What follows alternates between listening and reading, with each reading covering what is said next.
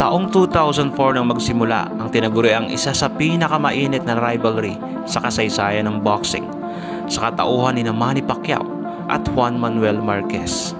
At dito rin nagsimula ang rivalry ng dalawang legendary trainer na si Ka Freddy at Mang Nacho, kapwa tinuturing ng Hall of Fame sa larangang ito. Kung matatandaan natin, ang unang salpukan ng dalawang boksingero ay nauwi sa isang controversial na draw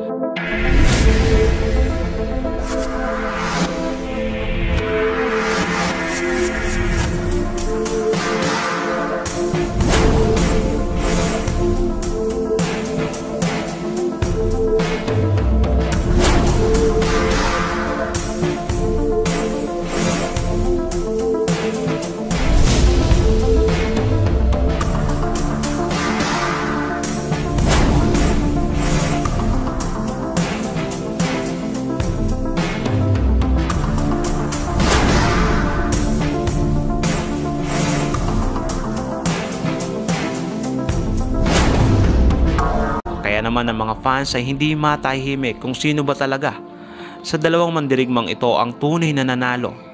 Dahil sa umatikabong bakbakan ng dalawa ay tila nagustuhan ng mga manonood ang kanilang ipinamalas sa ibabaw ng lona. In a three-way split, the bout is a draw. Both fighters keep their respective titles. Apat na taon muna ang lumipas bago ikinasang muli ang ikalawang yugto sa pagitan ng dalawang mandirigmang ito. Taong 2018 muli silang nagtagpo sa ibabaw ng lona. Isa na namang makapigil hiningang bakbaka ng nasaksihan ng mga tagahanga ng boxing sa iba't ibang parte ng mundo. Kapwa nagpalitan ng nag-aapoy na kamao at kapwa tumanggap ng malalakas na patama ang parehong boksingero. Ngunit sa huli ay ang nanaig ay si Manny Pacquiao sa pamamagitan ng split decision victory.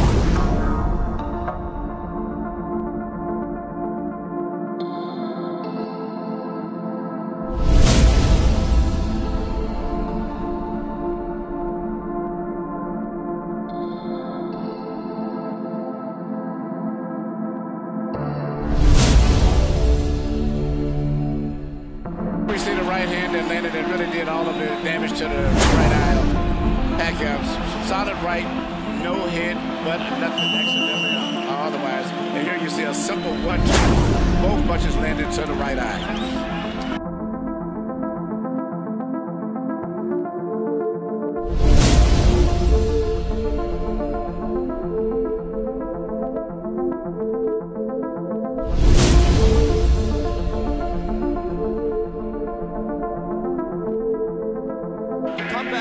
12th round with what I thought was a spirited rally, although Ngunit hindi pa rin natatapos doon ang istorya ng dalawang mandirigmang ito.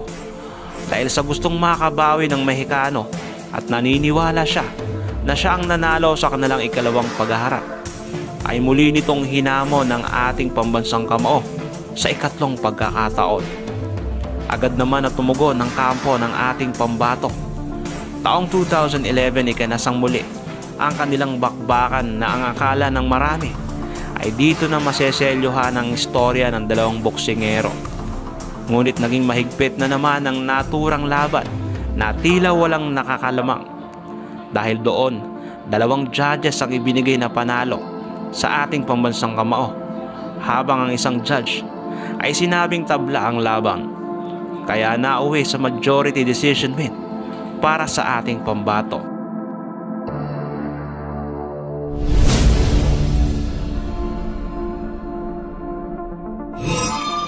Dahil sa resulta ng laban ay mas lalong nag-init ang mandirigmang Mexicano at ang mga kababayan nito.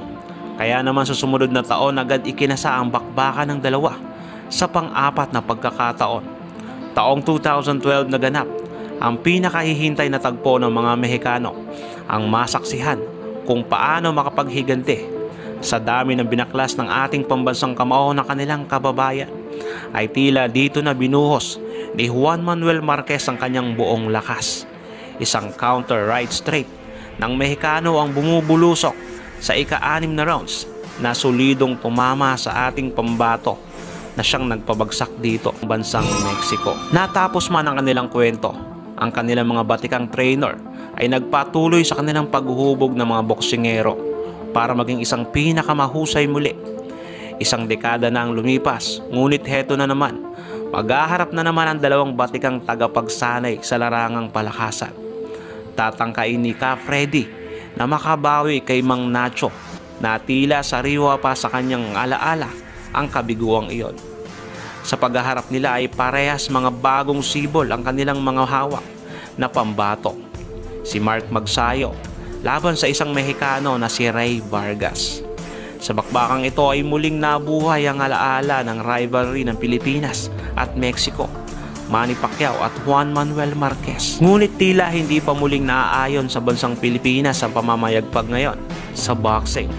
Dahil nabigo ang ating pambato na madepensahan ang kanyang titulo sa isang Mexicano. At muling nabigo si Ka Freddy kay Mang Nacho. Kung nagustuhan nyo ang video ang tampok natin ngayon, like and share. Mag-iwan ka na rin ng comments para sa iyong saloobin.